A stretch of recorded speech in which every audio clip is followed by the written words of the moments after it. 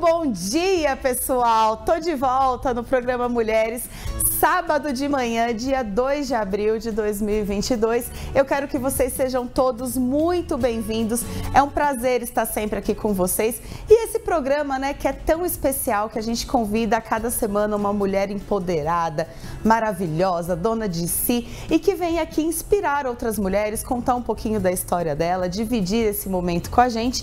E eu tô muito feliz hoje, eu tô recebendo aqui a Ana Flávia. Ela é micropigmentadora de sobrancelhas, de lábios. Nós vamos conversar sobre um monte de coisas de estética hoje. Eu sei que vocês querem saber, porque afinal de contas, quem não quer acordar, ó, maravilhosa e pronta para o dia a dia, não é? Então está no ar a partir de agora o seu, o meu, nosso programa Mulheres. Lembrando que nós estamos ao vivo em 100,3 no seu dial, na MAP TV, na Link TV Brasil e no nosso site ondoestfm.com.br. Estamos hoje também ao vivo, excepcionalmente, no Instagram da Ana Flávia. Qual é o seu Instagram, Ana Flávia, para a gente falar para o pessoal seguir? É arroba Ana Flávia Ferreira, PMU. É isso aí, gente. Então, ó, corre lá que tá tendo live e ó, eu tenho uma surpresa para vocês que participarem dessa live. Então, não vou contar agora, porque eu sou ainda um pouquinho de baú para guardar segredo dessa hora. sou fofoqueira, vocês conhecem. Não vou aguentar esse segredo muito tempo. Então, vamos lá. Seja muito bem-vinda. Muito bom dia. Que bom felicidade dia. te receber aqui. É muito gostoso. A gente está aqui sempre presente, né, com uma mulher maravilhosa que está aí seguindo seus caminhos. Muito, Ana, você é daqui de Piuí?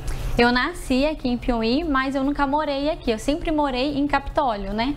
Morei mais tempo em Capitólio. Sim. E aí, como é que foi a sua vida? Assim, você sempre. Você é casada? Você é solteira? Vamos bater aquele papo de comadre. Vamos tricotar aqui um pouquinho. Ainda não casei. Sei. Tá quase. Fica a dica, hein? tem, ó, hashtag tem alguém aqui nos bastidores que eu já falei. Ah lá, minha fofoca. Comecei a fofocar já, tá vendo? Eu não aguento. então vamos lá. Tem muita gente que se interessa, né? Hoje em dia todo mundo quer ter uma pele bonita, uma sobrancelha bonita. Você, a, a, os designs de sobrancelha, eles vêm mudando de acordo com o tempo, porque antigamente a moda era aquela sobrancelha bem fininha. Na época que a minha mãe era, era nova, ela sempre falava é, a, a, moda era sobrancelha fininha. Depois já começou a ficar com umas certas formas, né? Como que é hoje em dia o design de sobrancelhas? O design ele vem mudando, né? A gente conta uma história desde 1920 que se usava uma sobrancelha bem arredondada e bem fininha. É. E tem muita gente que ainda tem dessa sobrancelha, tenta corrigir e é um pouco difícil. E hoje a micropigmentação veio para ajudar essas mulheres, né? Que tinham essa sobrancelha mais fininha. Com o tempo foi se usando uma sobrancelha mais grossa, mais ou menos 1980 já não se usava pinçar a sobrancelha, né? Depois a sobrancelha ficou mais fina, mais arqueada, mais alongada. E hoje, né, o que o pessoal gosta bastante é uma sobrancelha mais grossa, mais arqueada e mais preenchida, com mais cor, igual a sobrancelha da Jade, né? Gente, maravilhosa. Maravilhosa. Né? Inclusive. Então, ó, vamos falar sobre a sua vida, de como você chegou até essa sua profissão. Você sempre gostou de estética, assim? Você sempre foi uma pessoa que se olhava no espelho e falava, nossa, eu posso tirar um pelinho aqui, ou eu posso melhorar ali? Ou isso foi aconteceu naturalmente na sua vida? Sempre gostei, sempre desde nova eu sempre gostei. Quando eu tinha acho que uns 14 anos eu trabalhei em salão também. Eu trabalhava com cabelo, ajudante, né? Sim. E foi algo que eu gostei muito. Depois eu acabei me distanciando, fiz faculdade de administração e durante a faculdade também eu sentia vontade de estar tá fazendo alguma coisa, mas não tive a oportunidade. Sim. Mas eu fazia minha sobrancelha das meninas que moravam comigo na República. Você fazia? Sempre teve esse dom? Sempre, eu sempre fazia sobrancelha e fazia maquiagem nas meninas que moravam comigo, na minha mãe, nas, na, nos tios, primos, todo mundo, né? Eu já fazia sobrancelha, fazia maquiagem e era algo que eu gostava muito. Mas aí acabou que eu fui para outra área, me formei e comecei a trabalhar em outro emprego totalmente diferente no setor financeiro. Quando eu me formei, fiquei um ano e meio nesse uhum. setor, mas não era algo que me brilhava os olhos, parece Sei. que faltava ainda alguma coisa.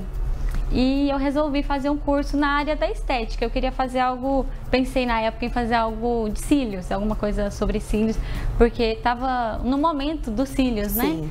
É, e aí é, eu, eu foi difícil assim achar alguém que ministrava curso naquela época. Hoje, graças a Deus, a gente tem vários profissionais aqui em Piuí, em Capitólio, que ministram cursos de cílios, né? Então, hoje está mais fácil o conhecimento, mas na época não era tão fácil. É, quando está começando, né? É mais difícil de, de achar, né? De achar. E aí, é, eu conheci uma moça, perguntei para ela se ela tinha vaga no curso de cílios. Ela falou que não tinha, que só tinha de sobrancelhas. Eu falei, pode ser. Aquele desespero, né? É. Pode ser, vai. Pode ser. Nunca fiz curso de cílios e me apaixonei pelas sobrancelhas. Foi aí que começou. Eu ainda trabalhava no meu outro emprego e eu procurei algo para fazer uma renda extra no Sei. momento. E aí eu trabalhava até 5 horas, depois das 5 horas eu atendia, atendia em casa mesmo. Então eu comprei, no outro dia que eu fiz o curso, vim aqui em Piauí, que eu morava né, em Capitólio, uhum. vim aqui em Piauí, comprei todos os materiais e comecei a atender no meu quarto mesmo, algo bem simples. E foi assim que tudo começou. Gente, que maravilha de história, né? E você sabe que a minha é um pouquinho assim com o rádio também. Eu sou formada em Direito, fiz faculdade de Direito, não tem nada a ver comigo. E aí, quando eu me formei, assim, trabalhei quatro anos no fórum como estagiária, né, tal, no fórum de Gochupé. E aí, quando eu me formei, assim, eu me deparei com uma coisa que eu falei: eu não quero fazer isso. Que loucura, né? E aí a gente vai procurando outros caminhos para se sentir feliz na vida e às vezes a gente encontra uma coisa que deixa a gente muito satisfeita. E é muito bom quando isso acontece, né? E aí me conta uma coisa, a gente estava falando dessas sobrancelhas fininhas e arqueadas que antigamente. Eu já sou uma pessoa eu tô aqui, né? Ela tá olhando minha sobrancelha, eu tô até com medo. eu já fui uma pessoa que, quando era mais nova, eu deixava todo mundo colocar a mão na minha sobrancelha deixava tirar, deixava, aí fazia uma falha num lado, uma falha aqui do atrás. E tem lugares que parece que não, não, regenera, né? Não nasce esse pelo de novo. Ou eles nascem e a gente não vê, ou não nasce mesmo de dependendo de quantas vezes você tira, ou uma vez só já é suficiente o, tem que ser tirado pelo do modo certo. Se ele for tirado do modo errado, pode acontecer de não nascer. E o corpo pode acontecer também de não de você arrancar um pelo e não nascer mais naquele lugar.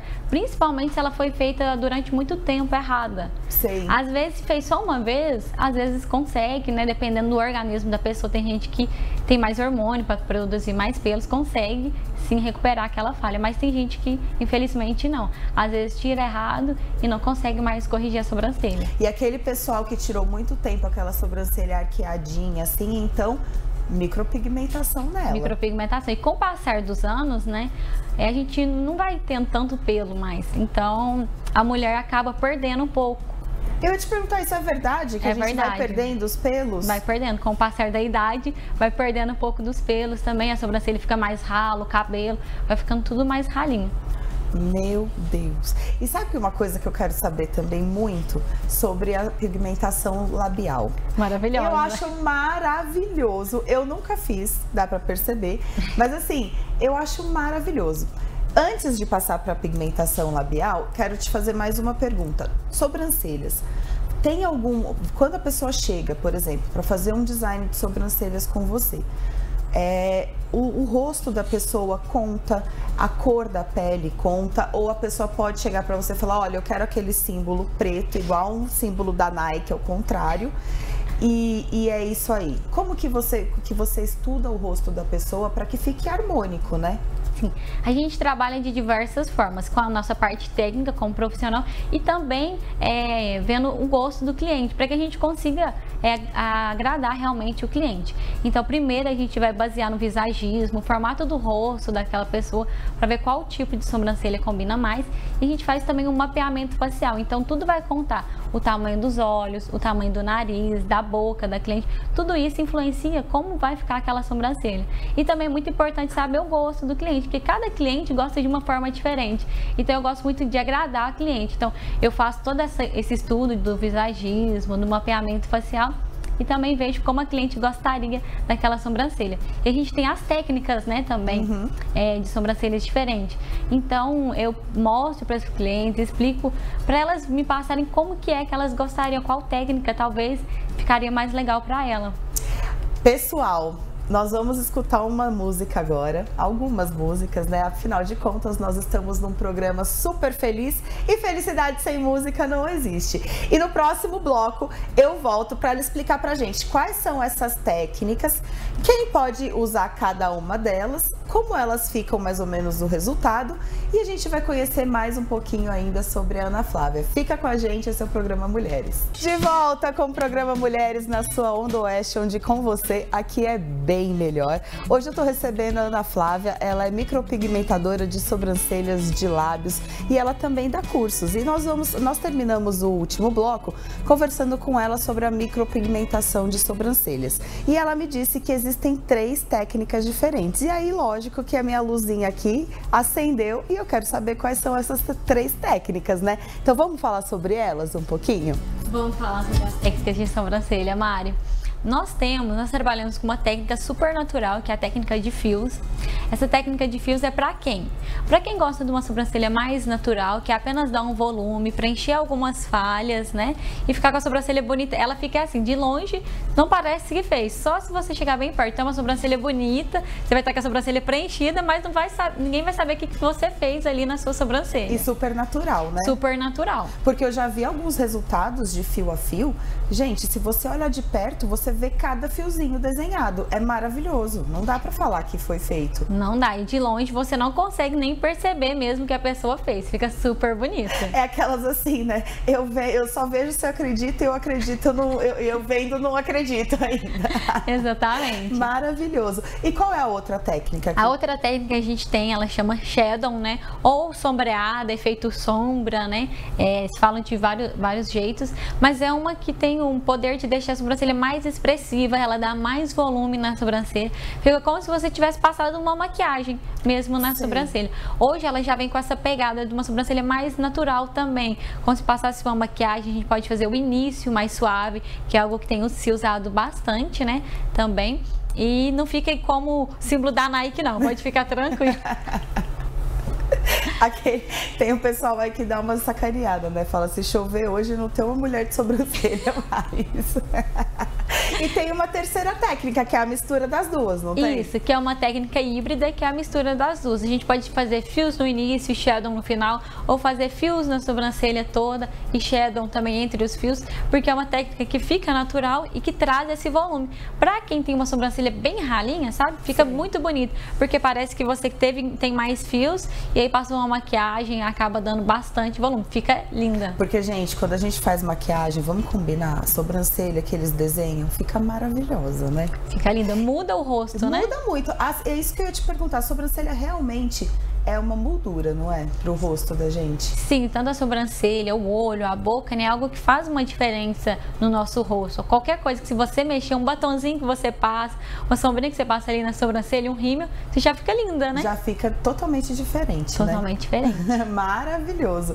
E me conta uma coisa, essas três técnicas, quando alguém chega lá para te perguntar ou para fazer alguma delas, você indica o que você acha que vai ficar melhor para a cliente ou isso fica a ela que escolhe? Primeiro eu gosto de bater um papo com a cliente para saber como que ela gosta da sobrancelha, porque às vezes a cliente mesmo ela não sabe muito bem a diferença, né, de cada tem. Então eu gosto de perguntar se ela quer algo mais natural, qual que é o objetivo dela, né? Se ela quer algo mais natural, algo mais expressivo, ou ela não quer nem muito natural, nem muito expressivo, pra gente ver e aí eu mostro também as fotos, né, de alguns procedimentos, assim, as fotos bem comparadas, para ela ver qual que ela gostaria. E todas, é, todas as técnicas ficam legal em todas as sobrancelhas, né? Então a gente pode estar tá escolhendo ali de acordo com o gosto daquela cliente. Que maravilha, né, gente? E me conta uma coisa, fui numa, num profissional, ou às vezes quando era nova, igual o meu caso, né? Que ficava tirando sobrancelha com todo mundo tal, tô com a sobrancelha, fiz uma micropigmentação, mas não gostei. Eu tenho como corrigir? Tem como corrigir. A gente tem algumas formas de corrigir. Uma é, é o laser, né? Você pode estar fazendo a remoção com um laser específico para remoção de tatuagens. Sim. E também tem a despigmentação química. Essa despigmentação química eu hoje trabalho com ela. Ela consegue remover até sobrancelhas que ficam avermelhadas, é, que essas o laser já não consegue. O laser é bom para aquela que tá bem preta, sabe? Sei, aquela que tipo você acabou de fazer ou tá aparecendo o ou símbolo lá. aquela que, que o pessoal faz há 10 anos atrás, Sei. não sai mais, então o laser é legal para esses casos. E ela vai perdendo um pouco a pigmentação, vai ficando meio azulada, né? Vai ficando meio esquisito depois de um tempo. Isso.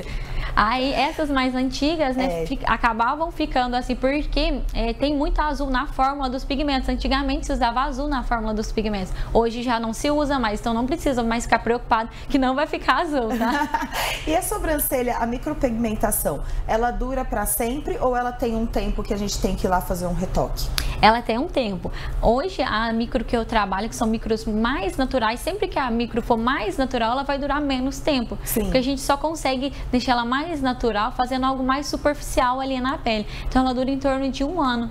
Ah, mas é bastante tempo. Já é né? é bastante tempo, né? E aí você já consegue ficar bonita com a sobrancelha um ano. E aí no próximo ano você pode estar refazendo. Se você quiser trocar a técnica também, você pode, né? No próximo ano também. Gente, que coisa maravilhosa, tá vendo? Você tem que ficar ligado no programa Mulheres para ficar sabendo tudo isso. E eu fiquei sabendo que você ministra cursos também, né?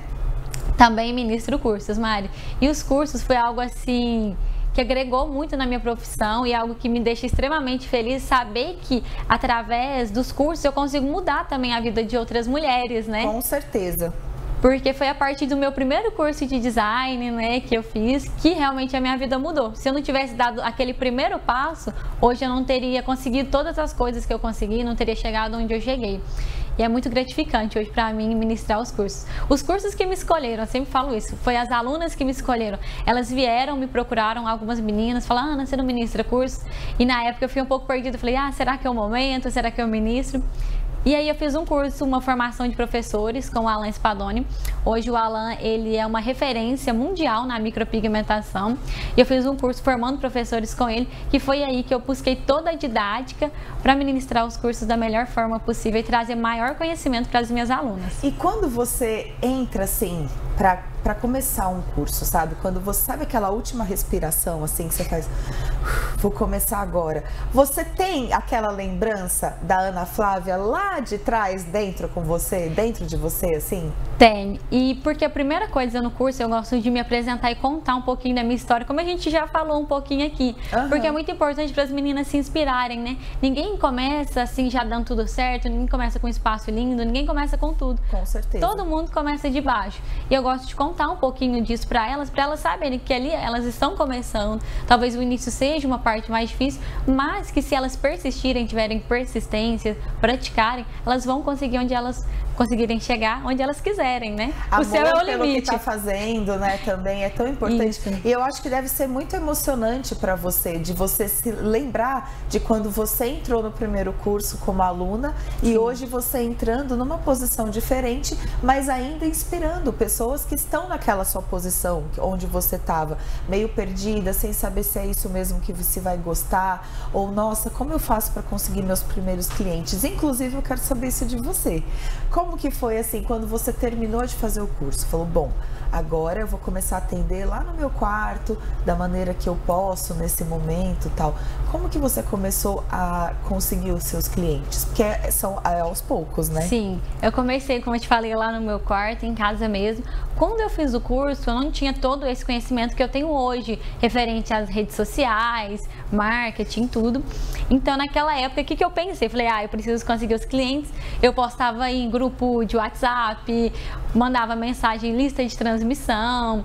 E aí comecei também, é, criei um Instagram profissional. Na época eu pensava que, te, que eu tinha que criar outro Instagram. E hoje eu sei que não tem necessidade nenhuma, a gente pode usar o mesmo Instagram para fazer tudo, né? Com certeza. Porque senão a gente não dá conta de cuidar de duas contas. De tanta gente conversando e fotos Sim. e tudo mais, né? Então eu acabei criando outro Instagram e eu comecei a postar vários, vários conteúdos legais nesse Instagram e foi chamando a galera. E com o tempo também eu fui aprendendo, né? Depois eu conheci o Bruno, que foi uma pessoa que me ajudou muito aí na parte de marketing em redes sociais. Sim. Até dia 10, dia 10, né? 11. Ele vai estar tá fazendo uma imersão dia aqui, 10. dia 10, né?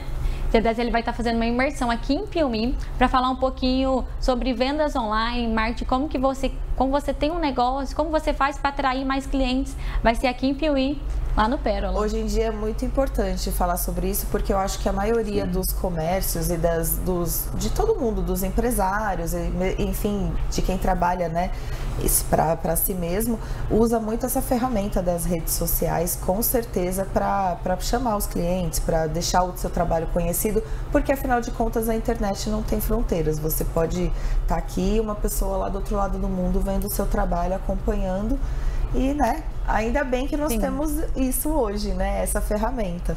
E até, e até por isso eu criei três pilares no meu curso para que as alunas saiam realmente preparadas, porque eu naquele momento eu tinha a técnica, eu aprendi toda a técnica no curso, só que eu tinha várias dificuldades em outros pontos. E aí a gente fez agora um curso baseado em três pilares. Que maravilha! A gente tem um pilar de atendimento em alta performance, onde a cliente vai, onde a aluna, né, vai aprender a como receber a sua cliente, como fazer um tratamento, como criar uma experiência. Se fala muito disso, como, ah, como você cria uma experiência. E aí no curso eu vou ensinar como que ela cria a experiência para a aluna.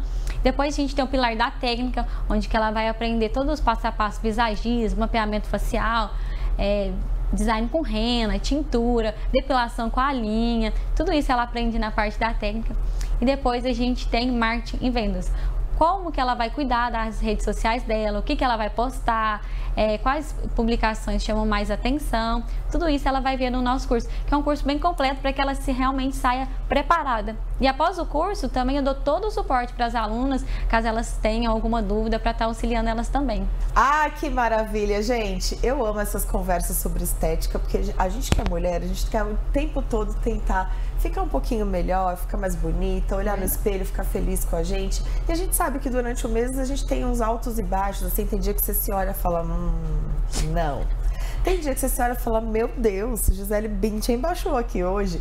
Então, assim, é aquela coisa, né? A mulher tá sempre procurando ficar mais bonita e eu acho que isso vem com a gente também, né? E hoje em dia os homens também estão nessa. É no próximo bloco nós vamos falar sobre isso. Vou falar também com ela, ela me falou aqui agora sobre a técnica de linha e de da pinça, eu vou conversar, vou dar uma pinçada só nessa, nessa conversa com ela, porque eu sou uma pessoa que adoro tirar sobrancelha na linha. Só que só, de, só no próximo bloco, de volta com o programa Mulheres na sua Onda Oeste 100,3, a rádio da região Centro-Oeste e Sul de Minas Gerais. E lembrando que nós estamos aqui com o nosso programa Mulheres, aquele encontro de todos os sábados, onde eu recebo minhas convidadas maravilhosas, mulheres inspiradoras. Cada uma fala sobre a sua área, conta um pouco pouquinho da vida e a gente espera que inspire vocês aí do outro lado, né? Que vocês tenham uma história muito bonita também a partir do que a gente está conversando por aqui.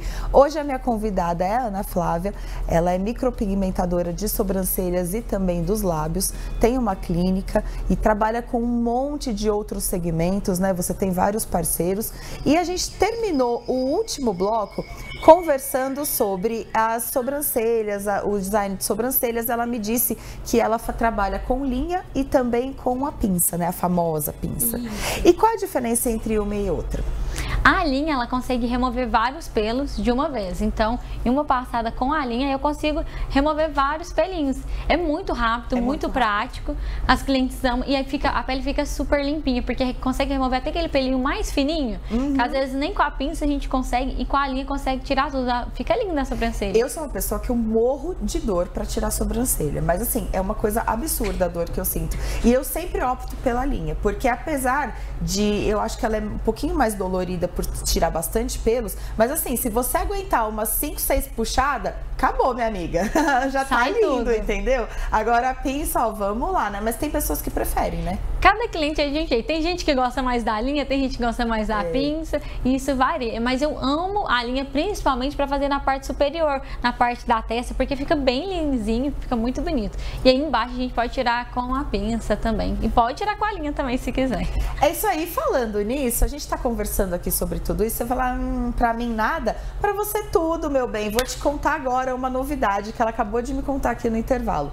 Postou uma foto minha e dela no, no Instagram, Instagram dela, desculpa, tá lá no feed. E quem comentar tá concorrendo a uma micropigmentação, né? que mais? Sessão de depilação a laser. Ah! Que maravilha! E a gente acabou de receber uma mensagem aqui da doutora Karine, uma sessão de microvasos para aplicação de microvasinhos na perna. Ai, que maravilhoso! Sabe aquelas aquela coisinha roxinha que não pertence à sua perna, que você vai pôr uma bermuda e fica olhando para ela o tempo todo? Pois é, ó, acabou, vai sumir. Acabou. Então, ó, vai lá, corre no Instagram dela, comenta a nossa foto para você concorrer também, hein? Por favor, Sim. não perca tempo. Arroba Ana Flávia Ferreira PMU. É isso aí. Anotou? Fala de novo. Arroba Ana Flávia Ferreira PMU. É isso aí. Vamos falar agora um pouco dos lábios? Vamos. Numa época que tá todo mundo colocando preenchimento, né? Os lábios estão. Eu acho que os lábios nunca tiveram tão à mostra assim na vida, né? Sim. Todo mundo gosta dos batons tal. E de mostrar bastante os lábios.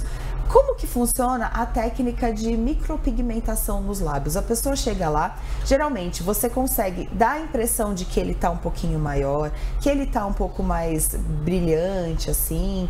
Como que fica o resultado final e as cores que a pessoa pode escolher também?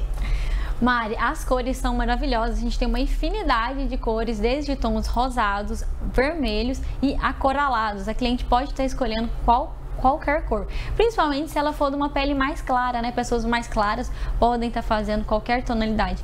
A gente também tem neutralização de lábios. Às vezes pessoas mais negras, pessoas mais morenas, têm os lábios escuros. Sim. E a gente consegue deixar esses lábios rosas.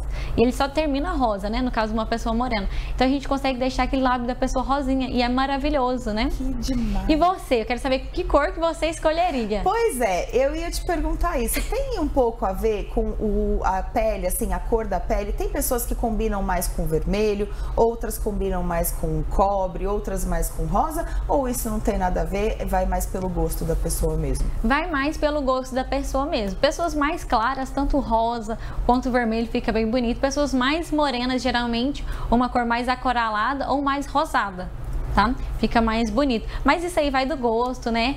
De cada um. E eu quero te dar uma micro labial de presente. Ai, meu Deus! Olha só, vocês vão ver. O dia que eu chegar aqui com esses lábios, ah. eu vou falar todos os dias da minha vida. Falar, gente, vocês já ligaram a câmera para ver meus lábios?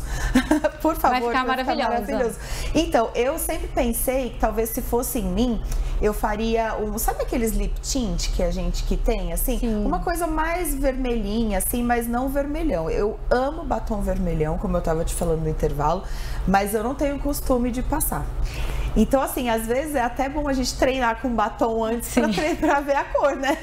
E a nossa técnica justamente é uma técnica efeito lip tint. Sei. A gente tem técnica efeito lip tint e efeito batom para quem quer algo mais marcante. Mas a técnica efeito lip tint fica super natural, parece que você acordou assim, nasci assim. Maravilhosa. Com a boca linda. E aí me conta uma coisa a título de curiosidade. Por exemplo, eu vou lá e faço uma micropigmentação nos meus lábios. Se eu tiver, por exemplo, com uma roupa, uma maquiagem que eu queira é, neutralizar minha boca ou passar uma outra cor, eu consigo tampar com um batom normalmente? Tranquilamente, você consegue estar tá fazendo. Até eu hoje fiz uma maquiagem maravilhosa aqui pra gente ver. Maravilhosa, viu? e aí eu acabei passando um batom por cima também e eu fiz uma micro ficou linda também. Então não tem nenhum problema. Se um dia você quiser passar um batom, for sair, quiser uma maquiagem algo diferente, você pode estar fazendo o batom ter uma alta cobertura, vai cobrir tranquilamente. E tem mais uma coisa que eu tenho certeza que as nossas ouvintes vão ficar alucinadas fiquei sabendo que você também tem depilação a laser lá na sua clínica. Isso, nós trabalhamos com depilação a laser também. Quem faz a aplicação do laser é a Bianca. Se a Bianca estiver ouvindo aí, um beijo, Bianca. Beijo, Bianca. a Bianca é quem faz a aplicação do laser. E o laser foi algo que eu decidi trazer por ser algo, um dos melhores procedimentos que eu já fiz é, é, algo que traz muita praticidade, né? Com certeza. Antes eu tinha muita dificuldade. Roupa, né? Se você não tiver com a axila depilada, você não vai pôr uma blusa cavada. E a gente que mora aqui perto de água, então? Pra biquíni. você colocar um biquíni assim, do nada? Não dá. Não dá. Porque ah, se você vai depilar na cera, você tem que esperar crescer. Dá, nossa, dá todo aquele trabalho. Fora a dor, né? Fora a dor, Fora que dói dor. muito. E aí, quando eu decidi, eu comprei uma máquina de depilação a laser. Quando eu decidi comprar, foi assim, foi algo muito difícil na escolha da máquina, mas eu tive várias propostas de várias outras máquinas, máquinas mais inferiores, mas eu decidi pegar realmente a melhor, até que tinha sido uma máquina que eu já tinha feito depilação a laser quando eu morava em Formiga. É, Para mim foi um dos melhores resultados, fiz uma pesquisa. É a máquina que realmente traz mais qualidade né, em relação ao procedimento. A gente tem cliente com apenas cinco sessões não tendo mais pelos. Que então maravilha. é um resultado maravilhoso. Gente, infelizmente, ai, eu vou ter que começar a encerrar o nosso programa. Eu adoro fazer esse programa Mulheres, ele é maravilhoso, me dá a oportunidade de conhecer pessoas incríveis. Eu vou soltar uma música para vocês, mas vocês ainda não se livraram de mim. Eu volto junto com a Ana Flávia pra gente se despedir e fazer passar aquela régua no nosso programa, tá bom? Então, de volta com o nosso programa Mulheres, agora já preparando as nossas considerações finais, né? Tendo que dar aquele tchau dolorido para vocês. Por quê? Porque tudo que é bom, meu bem, dura pouco. Semana que vem eu tô de volta com mais programa Mulheres, mas antes eu vou aqui perguntar para Ana Flávia pra gente terminar essa nossa esse nosso bate-papo. Afinal de contas, valeu a sua mudança de vida? Valeu demais. Eu sempre dou um conselho para os meus alunos: se você quer alguma coisa, não desista. Tenha persistência. Vão ter momentos que vão ser difíceis, mas tenha persistência que você vai conseguir. Foi uma mudança muito grande, né? Às vezes é, eu olho para trás e fico pensando: meu Deus, como mudou a, Que realmente. coragem eu tive, né? Que coragem, que loucura também É. eu tive, né, de fazer tudo isso. Mas eu faria tudo de novo e hoje eu sou muito feliz. Não, não faria, não trabalharia com outra coisa diferente do que eu faço hoje. Que maravilha! Olha, eu gostaria de te agradecer muito por você ter se disponibilizado a vir aqui no sábado de manhã. Eu adorei te conhecer, muito obrigada por essa oportunidade. Lembrando que as, as portas aqui da Onda Oeste estão sempre abertas quando vocês quiserem voltar, quando você tiver alguma coisa importante, vem aqui, conversa com a gente, porque com certeza vai ser muito gostoso. Muito obrigada. Obrigada, Mari. Eu que te agradeço. E lembrando, né, do sorteio Isso. lá no Instagram. Sessão de depilação a laser, micropigmentação, pode, a pessoa vai poder escolher sobrancelha, boca. Também faço delineado de olho definitivo. Ah. Ai, meu Deus do céu! Dá pra você E- voltar outro programa pra gente falar sobre o resto? A gente volta. Por favorzinho. E uma sessão de microvaso da doutora Karine, que atende tanto aqui em Piauí quanto lá em Capitólio. Que maravilha, gente! Muito obrigada pela audiência de vocês, por estar sempre junto com a gente, pela amizade. Esse foi o nosso programa Mulheres, veiculado pela Onda Oeste, pela MAP TV, pela Link TV Brasil também e pelo nosso site ondoestfm.com.br. Eu vou correr ali e volto já com o Sabadão da Onda para vocês. Um beijo, até sábado que vem. Muito obrigada!